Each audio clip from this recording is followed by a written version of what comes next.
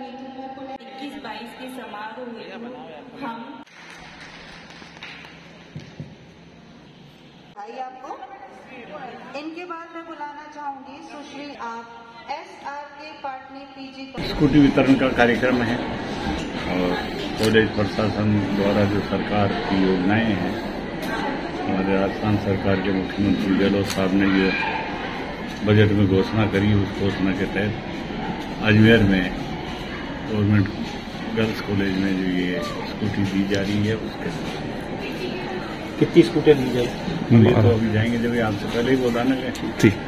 राजस्थान की सरकार के द्वारा कालीबाई और देवनाथ छात्रावास छात्रवृत्ति के तहत तमाम बच्चों को जो स्कूटियाँ दी जा रही है राजस्थान भर के अंदर। उसी के तहत आज अजमेर के अंदर 12 स्कूटियों का आज यहाँ वितरण किया जाएगा और उन छात्राओं को जो छात्राओं अपने अपने क्लास के अंदर, जिन्होंने अच्छे अंक लेके जो आई थी मेरिट के आधार के ऊपर इनका चयन हुआ है, और आने वाले समय और इसी तरह से राजस्थान के मुख्यमंत्री जी का और सरकार की ये मंशा है कि राजस्थान में एक दो नहीं, तीस हज़ार स्कूटियाँ राजस्थान में वितरित की जाए।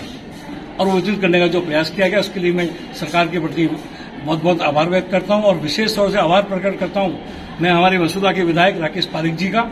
कि अपने व्यस्तम समय से समय निकालकर वो मेरे अजमेर उत्तर विधानसभा क्षेत्र में पधारे तो आपका धन्यवाद आपका स्वागत आपका अभिनंदन।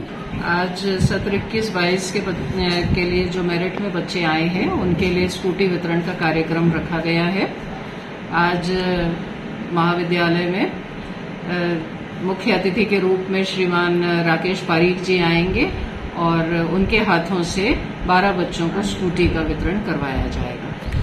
जैसे कि आप जानते हैं आज हमें स्कूटी मिली ये जैसे ही स्कूटी हमें आज मिली है हमें ये मिलकर हम बहुत खुश है कि हमारे आज माननीय मुख्यमंत्री सर की तरफ़ से हमारी स्कूटी दी गई है और ये हमारे बहुत यूजफुल है। इसके साथ मैं आपको धन्यवाद बोलना चाहती हूँ।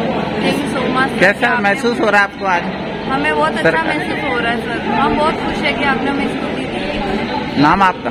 नाम मेरा पूजा गुजर है सर और ग्राम मेरा गोला है मैं जावर के पास एस गवर्नमेंट कॉलेज से